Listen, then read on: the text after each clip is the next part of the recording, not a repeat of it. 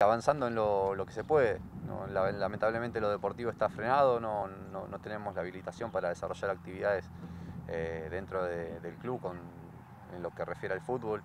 Entonces estamos tratando de crecer en otros aspectos que esta, situación nos ha permitido ordenar algunas cuestiones, tanto en los papeles como en ciertas cosas que queríamos emprender y que a veces por falta de tiempo, por la competencia misma, por eh, obligaciones que la competencia te lleva a realizar, eh, habíamos dejado un poco, un poco de lado y ahora eh, apuntando al crecimiento institucional, apuntando al crecimiento de diferentes actividades, se han, se, han empezado a desarrollar de diferentes actividades referentes al club, una de ellas es la tienda, la tienda oficial de, indumentaria y de, accesorios del club, que, es un intento de, implementar y de ordenar algo que, se venía dando bastante, bastante, de manera bastante libre.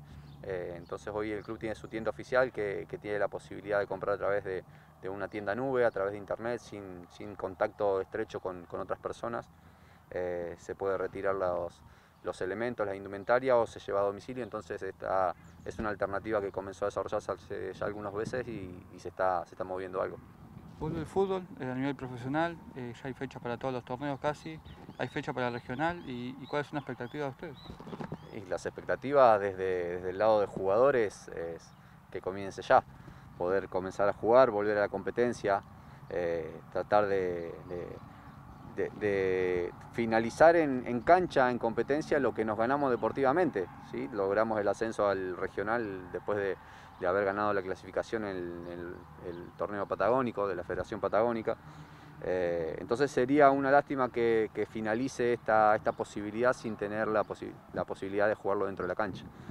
Eh, la situación está difícil ¿no? en cuanto a lo, a lo deportivo, porque teníamos un, un, gran plantel, veníamos en alza en cuanto a, al rendimiento, nos pudimos imponer en, una zona bastante difícil, eh, con, tres equipos de mucha historia en el torneo, en torneos eh, regionales y en, torneos argentinos.